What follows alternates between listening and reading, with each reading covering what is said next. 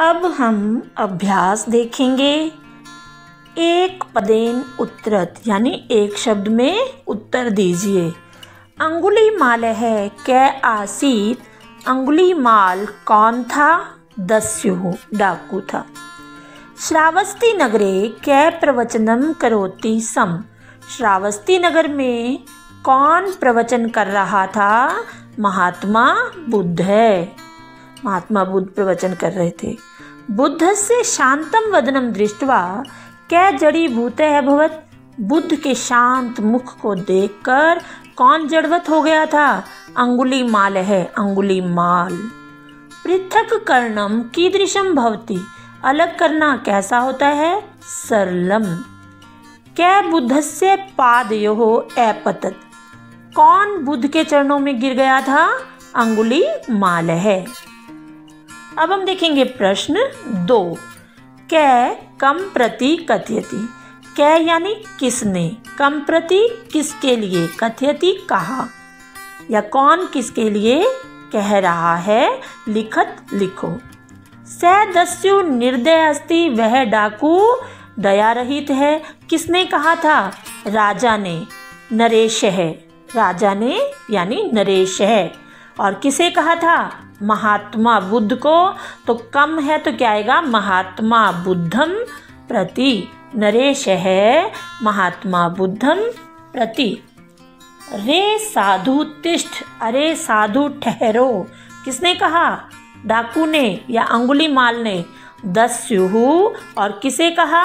महात्मा बुद्ध से। तो महात्मा बुद्धम प्रति। तब हस्तेन मरनाए अहम अत्र आगत है। तुम्हारे हाथ से मरने के लिए मैं यहाँ आया हूँ। किसने कहा था? महात्मा बुद्ध ने। तो कै यानी महात्मा बुद्ध है। कम प्रति। किसके लिए कहा था? अंगुली मालम प्रति। अब हम देखेंगे प्रश्न तीन। उदाहरणानुसारेण प्रकृति प्रत्यम पृथक कुरुत। उदाहरण के अनुसार प्रकृति और प्रत्यय को अलग करो। प्रकृति यानी धातु और प्रत्यय को अलग करो।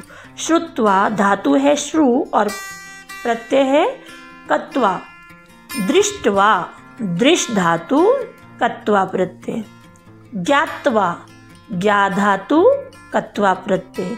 गन तुम धातु है हमारी गम। और प्रत्यय है इसमें तुमुन। गन तुम गम से क्या बन जाएगा? गन। गंतुम। कथित्वा कथ धातु, कत्वा प्रत्यय। गत्वा। गम धातु, कत्वा प्रत्यय। अब हम देखेंगे प्रश्न चार। संधि छेदम कुरुत। संधि विच्छेद करो। प्रत्यवदत। प्रति प्लस अवदत। हसित वैव हसित्वा प्लस एव। यथैव, यथा प्लस, एव। एकाकेव एकाकी प्लस, एव।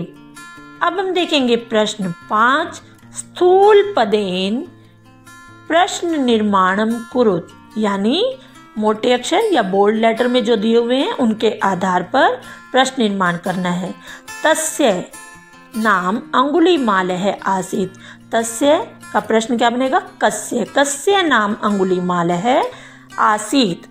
बुद्ध है। श्रावस्ती नगरे प्रवचनम करोति सम बुद्ध है यानी कै। ईदृशम कार्यम मा कुरु। ईदृशम यानी कीदृशम बुद्धस्य वचनानि श्रुत्वा स एवदत बुद्धस्य वचनानि। वचनानि यानी कानी। क्योंकि फलम फले फलानी वचनम वचने, वचनानि। तो किम के, कानी।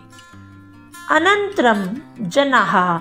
दस्योः विषये अकथयत्। अनंतरम के दस्योः विषये अकथयत्। अब हम देखेंगे प्रश्न छ।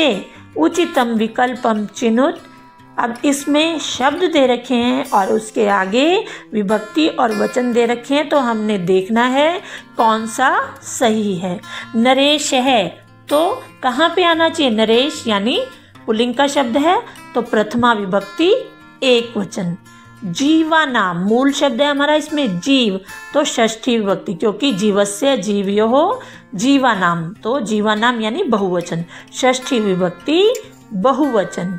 हस्तेन, बालके बालकौ बालका बालकम बालकौ बालकान, बालकेन यानी तृतीय विभक्ति एक वचन। वने, सप्तमी विभक्ति एक वचन। मरनाए यानी चतुर्थी विभक्ति एक वचन। अब हम देखेंगे प्रश्न सात। अधोलिखिता नाम शब्दा नाम रूपाणी पूर्यत। वचन दिया हुआ है तो वचन का कौन सा है ये? नपुंसकलिंग है तो क्या आएगा? वचनम वचने, क्योंकि प्रथमा विभक्ति का पूछा हुआ है।